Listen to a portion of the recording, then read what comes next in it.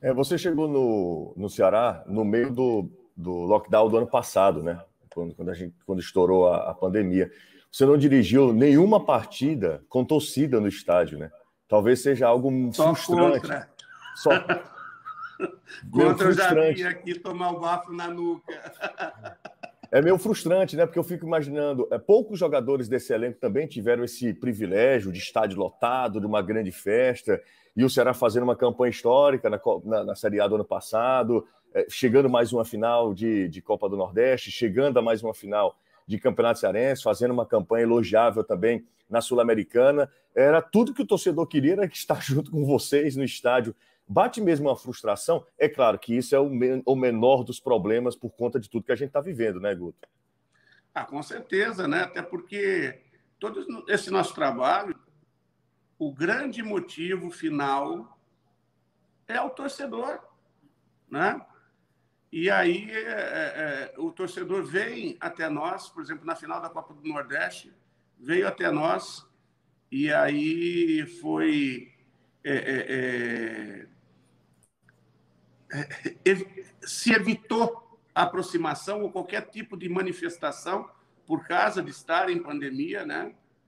Infelizmente, inclusive é, até com tiros, não sei se foi de borracha, de gás, para poder afastar. Do... Isso aí é, é frustrante para a gente, né?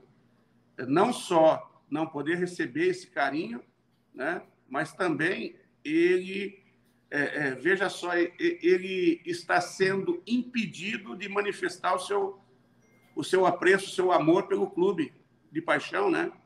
De, de poder fazer alguma coisa que é, é, é traga a, aos jogadores um nível de confiança maior, é, mostrar que está ao lado, né?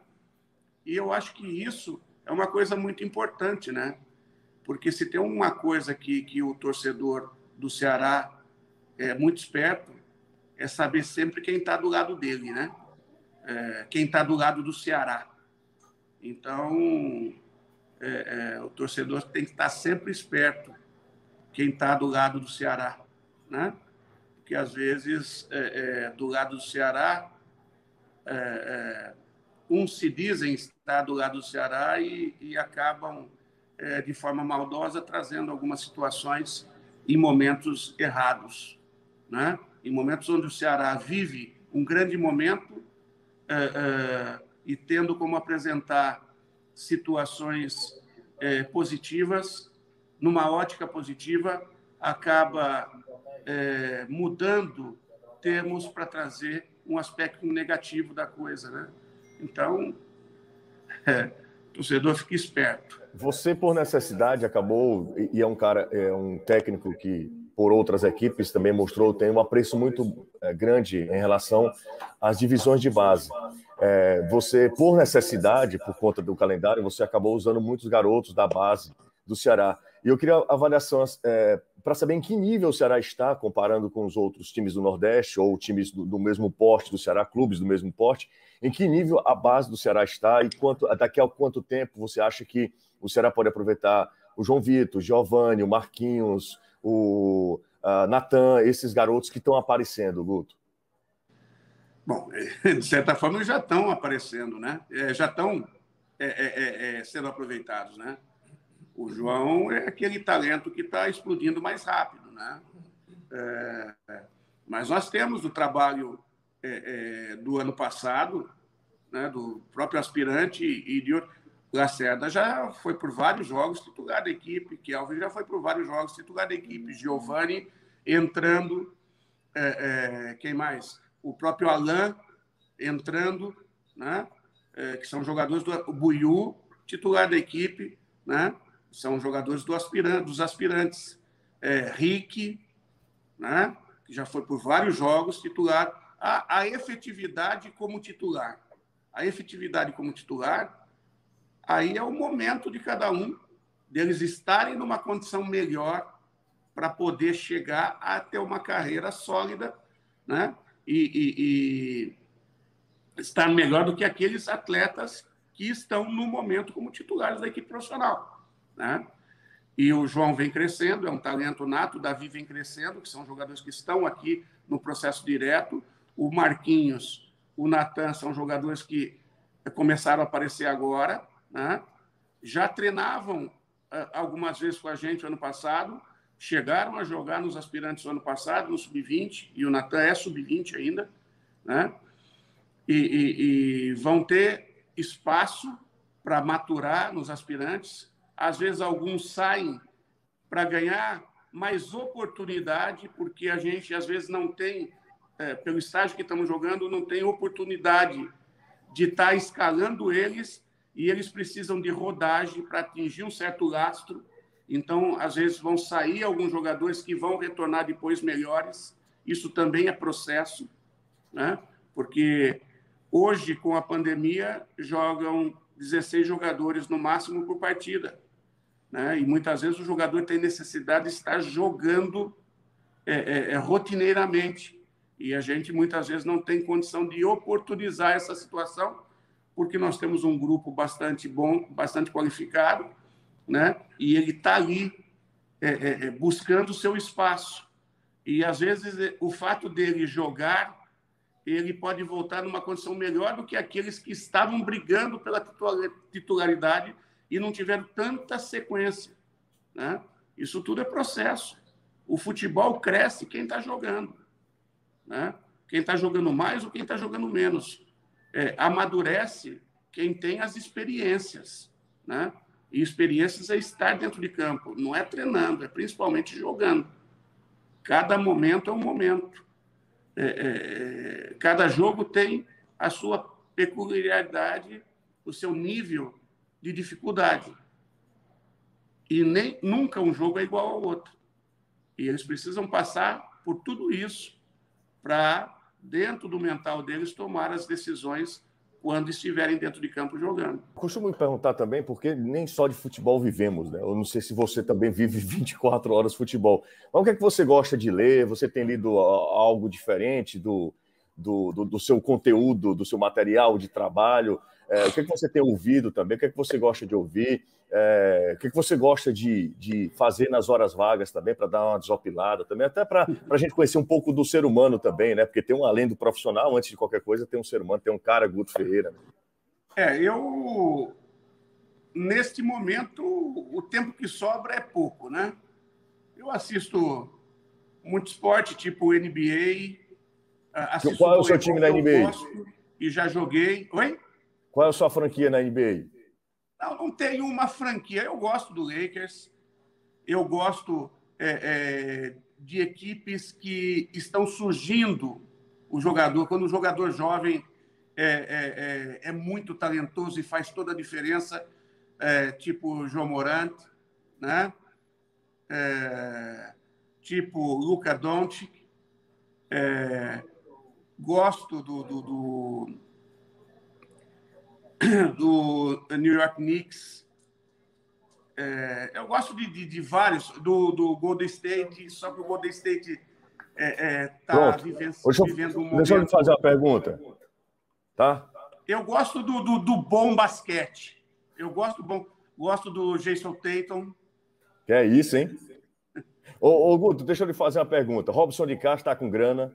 Você é, você é técnico do, de um time, de uma franquia uh, nos Estados Unidos, aí você tem uma chance. Você contrataria Steph Curry ou LeBron James? Ah, cara, eu contrataria LeBron James, não tem como. O pessoal vibrou aqui, viu? Sabe por quê? Eu vou te explicar. O Stephen Curry, ele é um jogador de muito talento, que ele vai definir em algumas situações. Ele vai liderar em algumas situações. Mas o Lebron, cara, o Lebron é com 35 anos fazer o que o cara faz é brincadeira. E é um touro, né? É um touro. Ele ganha o jogo sozinho. Ah, mas o Steph também ganha. Mas qual o jogo que o Steph ganha sozinho e qual o jogo que o LeBron ganha sozinho? Percebe? Pode ser. É é, é, é, o Lebron ganha qualquer tipo de jogo sozinho. ou quando chegar num jogo mais competitivo, ele vai com duas parcerias. Mas o, o Steph Curry também, esse não. Entendeu? E, e, e é, outro cara que, que, que eu gosto demais é, pela postura, pela entrega, pela personalidade é Screen. É o cara assim que, que chama muito a atenção o quanto ele é clube, o quanto ele é equipe, o quanto ele é liderança, o quanto ele é superação dentro da quadra. Nunca tem muita gente que... boa, cara. Tem, tem muita, muita, gente, gente boa. boa. E, e, e... é difícil você colocar uma ou outra franquia assim é, em termos de basquete. É, eu Nunca joguei pensei... voleibol muito tempo, né? Você jogava de quê, profissional em Piracicaba. Acompanho muito o voleibol também e acompanho o futebol, né? Acompanho o futebol também. É, aqui eu não tive oportunidade ainda de correr atrás de, de praticar um tênis, que eu bati uma bolinha, bem mal, mas bati. mas é, basicamente é, é, isso. Assisto, gosto de assistir filmes, seriados, né? É, leio é, livros técnicos, assisto muitos vídeos técnicos, muito jogo é, que a gente está o tempo todo tendo que é, é, e às vezes é, leio livros sobre experiências de vida, né? Romance, essas coisas eu não vou, eu prefiro filme, né? Eu prefiro esses livros que trazem mais experiências de vida, livros sobre é, poder da mente, é, de autoajuda, é, independente do, é, é, do tipo de profissão, né? Do tipo de profissão. É, livros que possam agregar valores à minha pessoa, Guto, né? E à minha profissão. Esse perfil de livros que eu leio.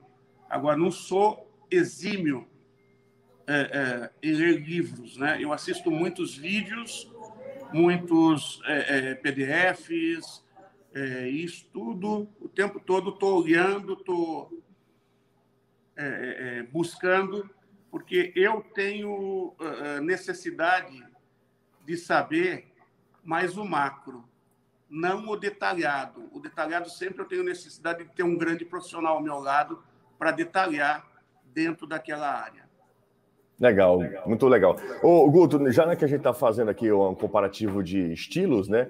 É, há no futebol uma, as vertentes, né? As escolas, Klopp e Guardiola, aí entra também Simeone. É, queria que você também falasse sobre isso um pouco também, se você fica à vontade também para qual é o seu preferido, o que é que você gosta. Se for perguntar como é que as pessoas analisam o meu trabalho em comparativo com as três escolas, né? Porque a escola do Simeone é uma escola extrema, extremamente defensivista, né? Uhum. E com transições. A escola do Klopp é uma escola com um equilíbrio de defesa e muita transição e algum jogo propositivo. E o jogo do Guardiola é um jogo extremamente ofensivo, agressivo, propositivo e tenta-se ter um cunho defensivo após a perda da bola, onde o Guto Ferreira se encaixa. Alguns podem falar que em muitos clubes eu, por necessidade, fui mais Simeone. Inclusive, eu tive 10 dias assistindo os treinamentos do Simeone em 2018 no Atlético de Madrid. Mas eu me vejo buscando sempre o equilíbrio de tudo. Buscando ter uma equipe que propõe, mas que tem uma defesa sempre sólida. E talvez a nossa equipe defenda muito, porque a gente trabalhe muito a defesa. Trabalha muito o ataque também. Mas o fato da gente dar bastante ênfase à defesa, né? o ano passado, quem garantiu tudo para nós foi o ataque. A nossa defesa foi uma defesa que se vazou muito. Esse ano até aqui, a nossa defesa é que está conduzindo a nossa equipe. Só que o nosso ataque não tem deixado de marcar.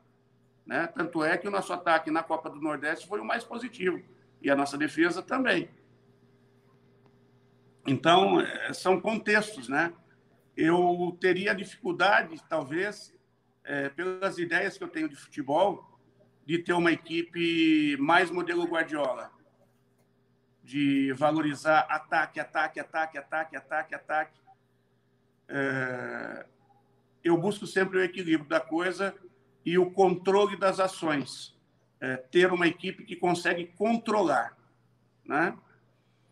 É, lógico, eu, por exemplo, já, já tive é, no Juvenil de São Paulo uma equipe extremamente técnica, que eu, até pela escola de São Paulo, jogava em cima o tempo todo. Nós disputamos oito competições e ganhamos seis, né, em dois anos, entre torneios estaduais, né, e inclusive torneios a nível nacional e internacional. Então, é, tudo depende das características dos jogadores que você tem na mão.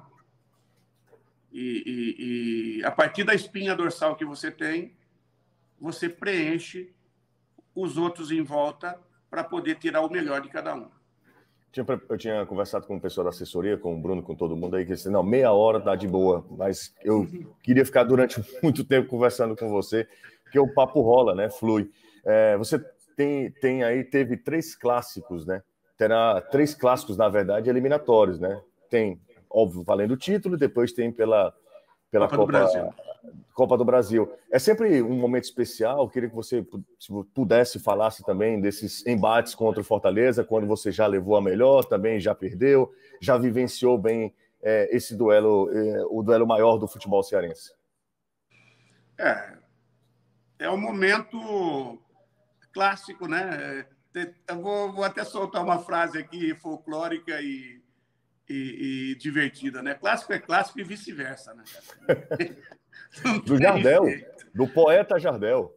É, não tem jeito, não tem jeito. É onde é, é um campeonato à parte, é, é, onde todo mundo tem que estar é, tá extremamente focado e, e, e, não pode, em momento algum, é, vacilar. Num clássico, você se torna é, rei ou se torna o, o, o plebeu que está indo para a forca. Então, você tem que estar tá muito focado, está é, disputando cada centímetro de, de campo, né? E é assim que a gente busca colocar. Nós não tivemos essa felicidade no último, Couto, só para a gente encerrar, uma curiosidade mesmo, assim, aleatória mesmo, tá? Você tem se adaptado bem à Fortaleza? O que é que você acha da cidade, né, da cidade de Fortaleza, aqui do estado do Ceará? É, não sei se você sabe, existe um histórico muito grande de profissionais que vêm para cá, sejam é, jogadores ou técnicos, acabam ficando por aqui. Tem até uma história de, mítica aí, que a água é diferente, tem algo diferente na água do, do estado do Ceará, e acaba é, fixando residência. Você tem gostado da cidade? O que é que você acha do, do do, da sua vida aqui em Fortaleza? Cara, eu gosto muito da cidade. Mais do que da cidade, eu gosto das pessoas. É... As pessoas, essa simplicidade, essa troca, esse humor, né? essa, esse alto astral sempre é o que eu gosto do povo de Fortaleza. E o carinho, né, cara? Eu estou aqui há um ano, eu tenho um carinho, eu recebo um carinho muito grande do torcedor e tento retribuir da melhor maneira possível. Né? E não é só do torcedor do Ceará. Né? É do torcedor do Ferroviário, do torcedor do nosso rival, que eu respeito muito a todos eles também. Né? É, e, e, gosto é, dos ambientes que frequento aqui. É, lógico, a pandemia tem proibido a gente de estar em alguns lugares onde a gente podia desfrutar mais de toda essa beleza, de tudo isso que tem de maravilhoso aqui, né? Mas já estive em lugares muito bons também, né?